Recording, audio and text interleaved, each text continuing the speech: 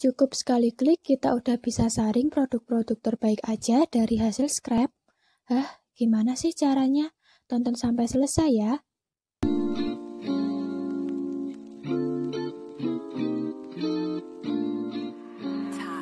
Hai teman-teman, balik lagi nih di channel YouTube-nya Klobot. Kemarin kan kita udah coba scrap produk pakai tool scraper uploader produk. Udah sempat notice kan kalau ada fitur data analyzer yang nyelip di sini. Ini tuh salah satu fitur andalan yang ada di Cloudbot Launcher. Fungsi dari data analyzer itu kayak nganalisis sama ngolah data hasil scrap produk.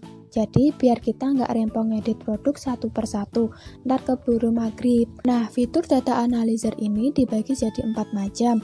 Ada analyzer title atau judul, analyzer description, remove duplicate, dan juga filter data. Biar nggak bingung fungsinya masing-masing, yuk deh dibahas atu-atu.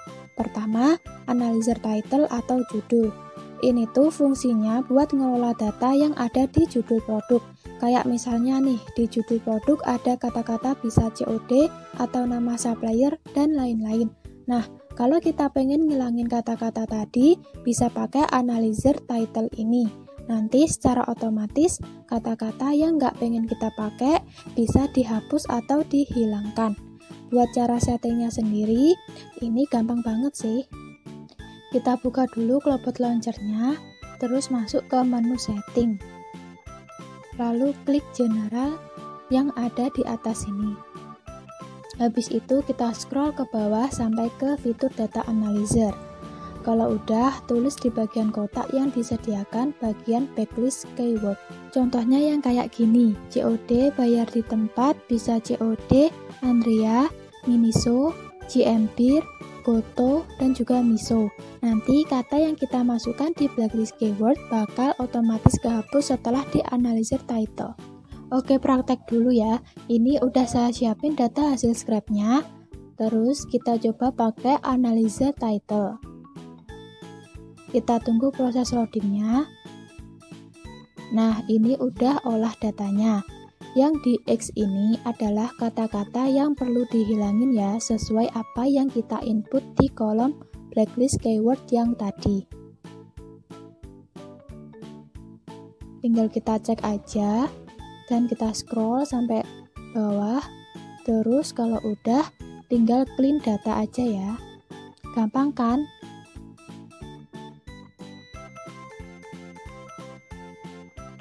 Oke, lanjut yang kedua ada analyzer description.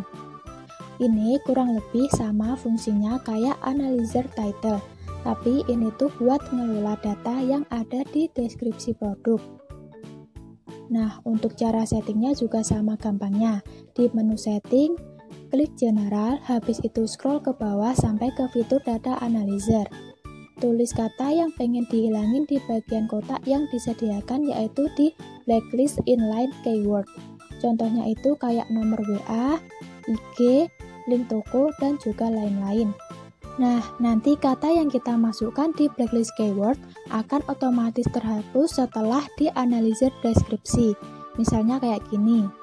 Kita masuk ke hasil scrap kita, lalu kita masuk ke data analyzer description. Kita tunggu proses loadingnya. Nah, ini banyak banget kan kata-kata yang perlu dihapus. Jadi, di bagian kiri itu ada data yang direview. Terus di sebelah kanan adalah data yang berupa kata atau kalimat yang perlu dihapus sesuai data yang kita input di blacklist inline keyword tadi. Kalau ada data lain yang pengen dihapus, tinggal centang aja kolomnya. Kalau udah, tinggal clean data, biar tadi kata-kata yang difilter bisa kehapus. Udah deh selesai. Next kita bahas tentang analyzer duplicate atau remove duplicate. Ini termasuk fitur baru ya. Fungsinya itu untuk menghapus semua data yang sama seperti nama, gambar, dan juga deskripsi. Nah, di sini itu remove duplicate ada tiga jenis. Jadi ada duplikat judul produk untuk menghapus judul produk yang sama. Yang kedua, duplikat deskripsi produk untuk menghapus deskripsi yang sama. Dan yang terakhir, duplikat thumb pertama untuk menghapus gambar pertama yang sama.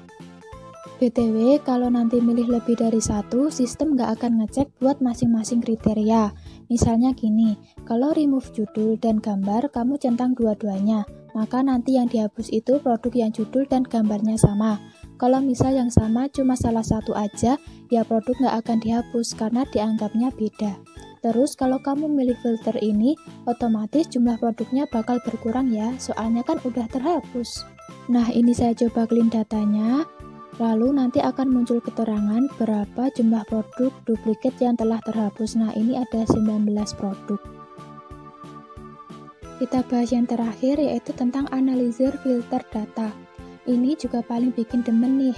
Fungsinya buat nyaring produk-produk yang udah di scrap dengan kriteria tertentu. Fitur ini ada 5 macam filter ya. Nah, ini saya coba jelaskan satu persatu. Yang pertama itu filter produk terjual. Fungsinya buat menghapus jumlah produk dengan filter minimal sampai dengan maksimal produk yang terjual. Jadi kayak filter produk-produk yang laris aja. Terus yang kedua, itu ada filter minimal rating. Fungsinya buat menghapus produk dengan rating di bawah standar yang kamu tetapkan. Misalnya pengen nyimpen data produk yang ratingnya di atas 4 bisa pakai filter ini. Terus yang ketiga ada filter minimal stok. Fungsinya buat menghapus produk yang jumlah stoknya sedikit atau di bawah minimal yang kamu tetapkan.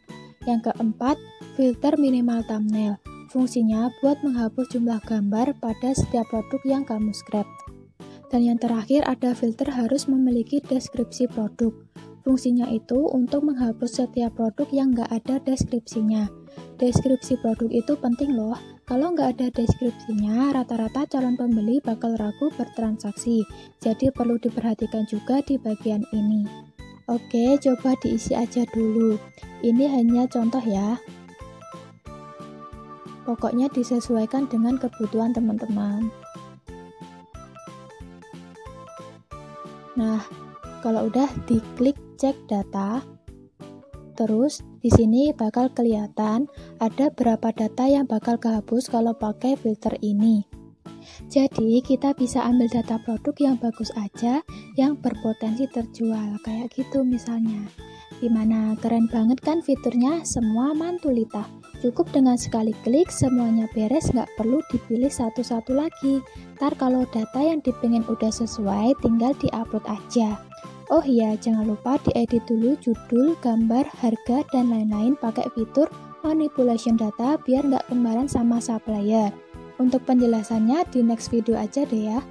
Oke, kayaknya segitu dulu. Kalau video ini bermanfaat, jangan lupa like dan share ke teman-teman lainnya ya. Jangan pelit, kita harus berbagi. Sampai jumpa di video selanjutnya. See you!